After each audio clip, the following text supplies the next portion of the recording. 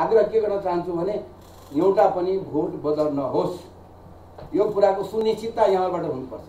किन यहाँहरूले विशेष मतदाता हो इलेक्ट्रोल कलेजका भोटर्सहरू आठ सय चौरासी हुनुपर्नेमा आठ सय एकासी मात्रै भयो। तिनजनाले अवसर पाउनु भएन। त्यो पनि कानुनी व्यवस्थाले। हामीले चाहेका थियौँ।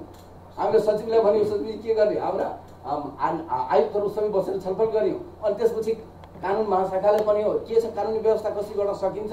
अनि हाम्रो कानुनको इन्चार्जको रूपमा रहनुभएका हाम्रा मान्य ईश्वरी पौडेल सर हुनुहुन्छ।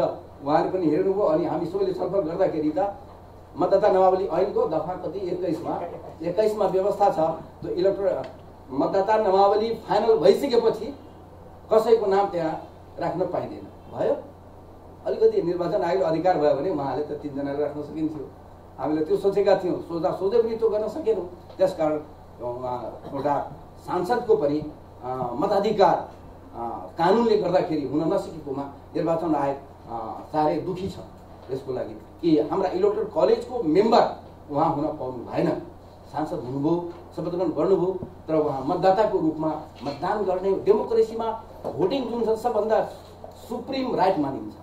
गिफ्ट अफ डेमोक्रेसी भनेको भोटिङ नै हो। अब यस्तो भोटिङ राइटबाट मान्यजी अफ वञ्चित हुनुभयो त्यसको लागि यहाँहरूले हेरिदिनु होला। हामी निर्वाचन आयोगले पनि अब हाम्रो यो राष्ट्रपति उपराष्ट्रपतिको निर्वाचनपछि इलेक्ट्रोल रिफर्मका कुराहरूमा हाम्रो गम्भीर ध्यान जान्छ। हामी छलफल गरेर के के कुन कुन कानुनमा कहाँ कहाँ सुधार गर्नुपर्ने हुन्छ त्यसको लागि पनि हामी यहाँहरूलाई बोलाएर फेरि हामीले छलफल गर्छौँ। छलफल गरेर यहाँहरूलाई आग्रह गर्छौँ।